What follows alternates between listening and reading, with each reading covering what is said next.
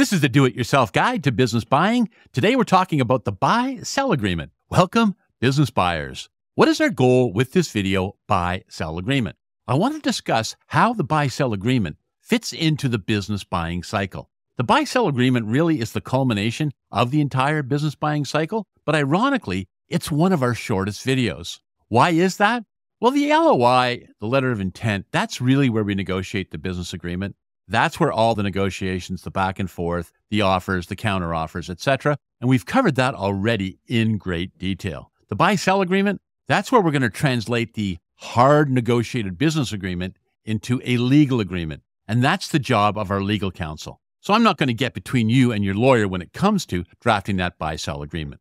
In addition, our next video is all about resolving final issues, which covers many of the closing issues that I do want to address. So that's going to limit this video to 12 basic points on the buy sell agreement. Let's get started. Number one, the name of the agreement. I have been calling it the buy sell agreement through this entire video series, but that is just a placeholder name. Another placeholder name is the definitive purchase agreement or the purchase agreement. The actual name is either or. It's either an asset purchase agreement, an APA, if you're buying the assets of the business, or it's a share purchase agreement or an SPA if you're buying the shares of the agreement. So APA or SPA, asset purchase agreement or share purchase agreement, depending upon whether you're acquiring the assets or the shares. And by the way, the agreements are quite different. Now, I do have a full video presentation on the difference between buying assets and buying shares. So I would suggest you take a look at that if you haven't already. Number two, who prepares the agreement? Well, it's typically prepared by the buyer side legal counsel. I've worked on a couple transactions where the seller side prepared the buy sell agreement, but it's usually the buyer side. I mean, it worked out fine with the seller preparing it. Typically, the buyer legal counsel drafts the buy sell agreement and we get comments and change requests from the seller's legal counsel or lawyer. Number three, we want to make sure we use a lawyer with business buying experience, preferably with leverage buyout experience if you are leveraging the assets of the target co to fund a closing payment, that, of course, means you're borrowing against the assets of the business that you want to buy to raise money to give the seller a closing payment. If your transaction includes that, yeah, it really helps to have a lawyer who's familiar with how those transactions work rather than a family friend who might normally be a family law lawyer, for example. Probably not the best idea. Number four, how long does it take to get the buy sell agreement signed? I would say typically somewhere between two and six weeks, roughly.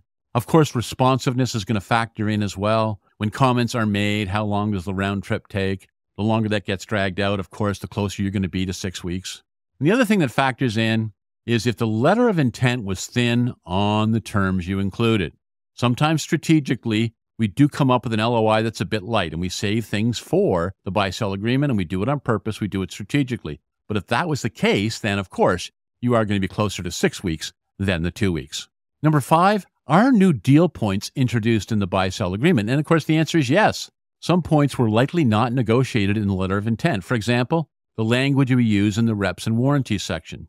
And of course, a lot of the legal contention that happens when we're negotiating this kind of stuff is around the language itself. So, that again is something that you're going to have to discuss with your legal counsel. Number six, your counsel needs direction on the approach to take to the buy sell agreement. I think we want to give clear instructions, and we recommend that the seller advise their lawyer with clear instructions as well that their job is to convert or translate the business agreement into an enforceable legal agreement. We're not asking them to renegotiate it. So we want to limit the introduction of additional legal elements to those that are only strictly necessary. We don't want to start another round of negotiations. Number seven, your counsel needs direction on risk allocation in the buy sell agreement. Lawyers, because that's really what they're trained to do, often add language to minimize risk. They're protecting your interest. They want to push the risk to the seller. Well, of course, seller's counsel is doing the exact opposite. They want to push all the risk to the buyer. And if you have two aggressive lawyers on either side, you know, taking that approach, I'll guarantee you, you're not going to get a signed buy sell agreement and a closed transaction. So you need to discuss those kinds of items before they get arbitrarily added to your buy sell this whole idea of risk minimization and risk allocation is super important. Number eight, the length and complexity of the buy sell agreement should match the deal size. I've seen more than one deal blow up for this reason. Legal agreement overkill. it can definitely be a thing in this space. Sellers will often balk when given legal boilerplate by a buyer that was meant for deals 10 times as big. It was just used as boilerplate to cut down on legal expenses. You want the length and complexity of your legal agreement to match your deal size. You know, if they get out of whack, you can have problems. Number nine, note any seller sensitivities and communicate them to your lawyer. You probably have a sense of them by now. Sellers very often have trigger issues, something that's really important to them, something where they have no flexibility. And so you want to have a discussion with your lawyer and instruct them that when they're drafting the buy sell agreement, that these issues are important and that we need to potentially finesse them if we can, at least make them aware of them.